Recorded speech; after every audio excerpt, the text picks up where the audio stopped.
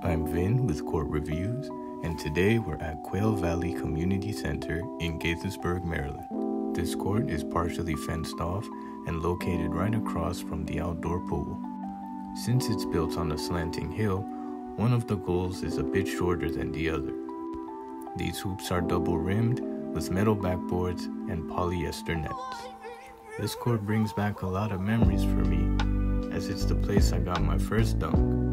As for my review, I'd rate this court a 5 out of 10. What's your first basketball memory?